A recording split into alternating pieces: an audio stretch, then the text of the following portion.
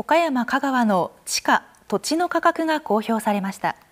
岡山では中心部の再開発などにより県全体の平均変動率が3年ぶりに上昇しています。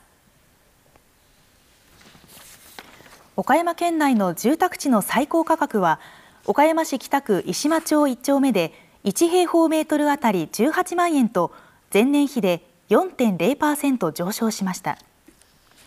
一方で商業地の最高価格は岡山市北区本町で1平方メートルあたり165万円と前年比で7.8%上昇し35年連続で最高価格となりました。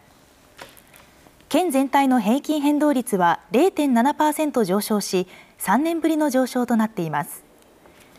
調査を担当した不動産鑑定士によりますと岡山市中心部の再開発による周辺の商業地住宅地の価格上昇が県全体へ影響したということです。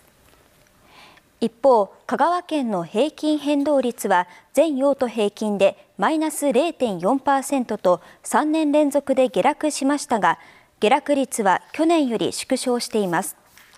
市町別では高松市が横ばいとなったほかは各市町とも下落しました。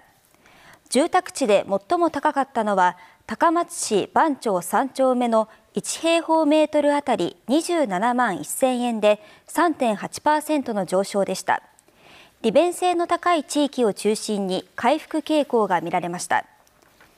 商業地では高松市戸木屋町が最も高く44万5000円と1.6%の上昇となっていて新型コロナの影響により大きく下落した反動で下落幅が縮小したとみられています。